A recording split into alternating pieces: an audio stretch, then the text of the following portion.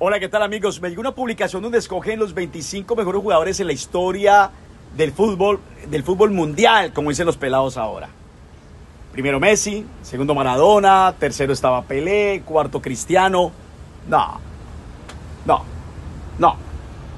Yo sé que Messi es de lo mejor que ha existido en el fútbol en los últimos 10, 15 años y Cristiano igual.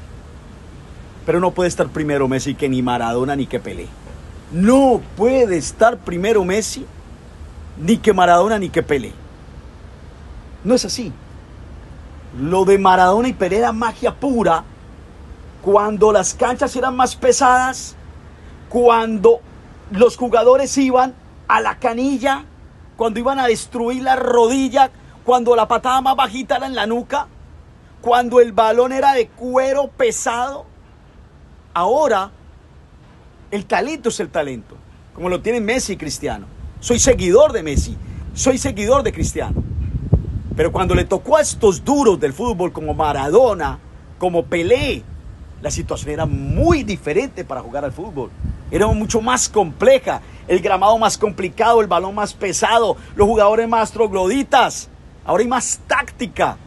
Ahora se protege más el jugador. Es una humilde opinión. Lo leo a todos ustedes, a ver qué dicen.